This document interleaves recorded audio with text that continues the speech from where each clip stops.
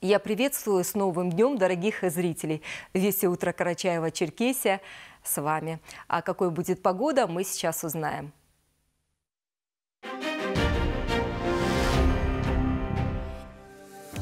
Карачаево-Черкесии преимущественно без осадков. Ветер восточной четверти 5-10 метров в секунду. Температура воздуха ночью плюс 1 плюс 6, в горах местами минус 4 плюс 1. Днем плюс 18 плюс 23, в горах местами плюс 10 плюс 15 градусов. Черкесский без осадков. Ветер восточной четверти 5-10 метров в секунду. Температура воздуха ночью плюс 3 плюс 5, днем плюс 21 плюс 23 градуса.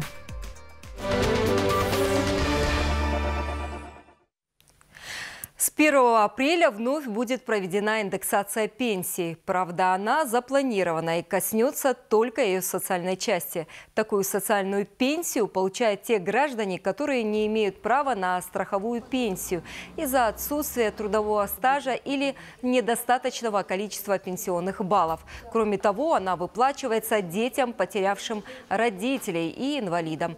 На основе базовой социальной пенсии рассчитываются выплаты для военнослужащих при призывников, которые во время службы стали инвалидами или погибли, инвалидом Великой Отечественной войны и блокадников, инвалидам, ликвидаторам радиационной или техногенной катастрофы, а также детям, граждан, погибшим от таких катастроф. Индексация составит 7,5%. В Карачаево-Черкесии индексация коснулась более 16 тысяч пенсионеров по государственному пенсионному обеспечению. Из них 15 800 человек являются получателями социальной пенсии. Индексацию социальный фонд проводит беззаявительно, поэтому жителям Карачаева-Черкесии не нужно никуда обращаться или подавать какие-либо заявления, чтобы получить пенсию в новых размерах. Проиндексированные на 7,5% по государственному пенсионному обеспечению начнут поступать пенсионерам Карачаево-Черкесии с 3 апреля по стандартному графику доставки. Хочу напомнить, что страховые пенсии неработающим гражданам были проиндексированы на 7,5% с 1 января 2024 года. Самое масштабное изменение с 1 апреля ждет автомобилистов. Вносится ряд изменений в правила сдачи на права, а некоторым водителям придется заняться обменом действующих прав.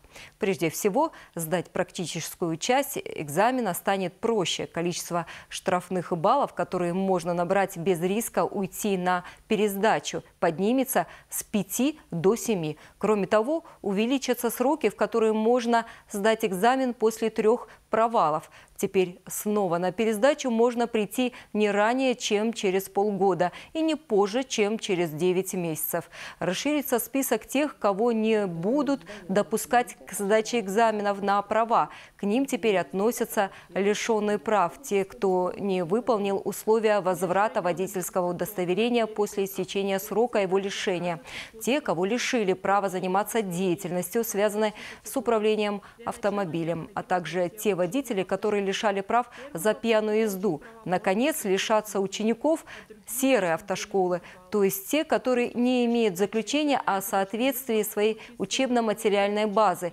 Учеников таких автошкол просто не допустят до экзамена. В Карачаево-Черкесии прошли крым-шамхаловские чтения.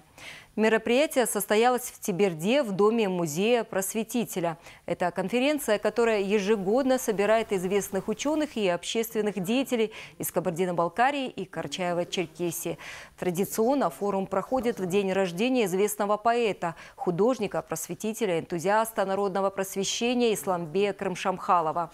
Через несколько минут в эфир выйдет информационный выпуск «Вести на нагайском языке», затем программа нагайской редакции. Более подробно о новостях сегодняшнего дня в следующем информационном выпуске в 14.30 с Муратом Джанкезовым.